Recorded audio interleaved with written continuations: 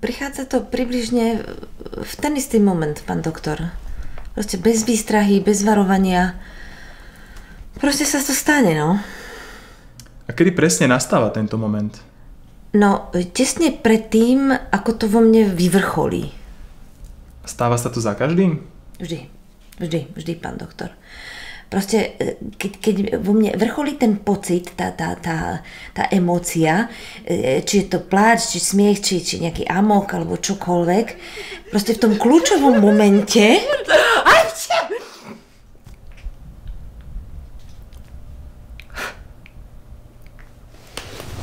Pán doktor, čo mám robiť? Ja som herečka, ja nemôžem takto fungovať. A nechceli by ste byť radšej učiteľkou?